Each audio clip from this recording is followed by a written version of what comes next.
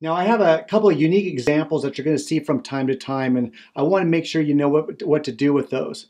So let's say for example I have a line that says y equals negative 4.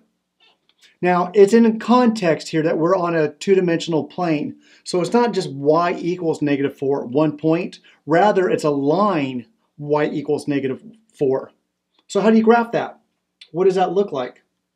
Well, on one level, I can get a sense of putting it into our slope-intercept form of the line. Remember that equaled y equals mx plus b. There's no x value here.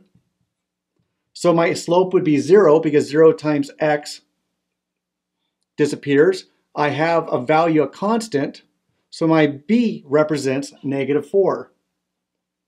And then I can see that once the zeros cross out, I'm back to y equals negative 4.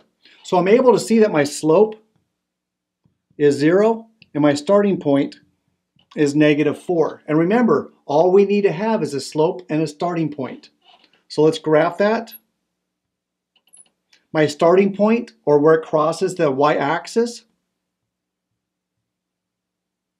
down there at negative 4, and I have a slope of 0. That means I go up 0 and over 1. Up 0, over 1. And that's just going to give me a consistently horizontal straight line at that value right there. Another way to look at that too is for every value of x, my y is negative 4.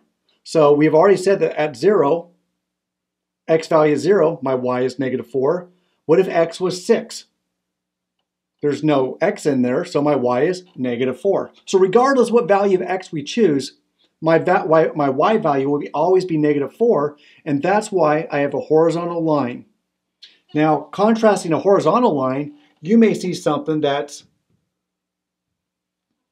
a vertical line. Correct. And for the same idea, I'm not going to unpack it as much. For every value of y, what's my x value going to be? My x value is going to be, not going to use that pin now, my x value is going to be 2. And so there I have a vertical line representing at every value of y, my x is 2. All right, last question for you. Are both of these functions? I mean, this one doesn't cross the x-axis. This one doesn't cross the y-axis. Oh, that's not the definition of a function. The definition of function is does it pass a vertical line test? Oh, that's right. So this one does pass the vertical line test. There's no place where it crosses more than once. However, this one does not pass the vertical line test.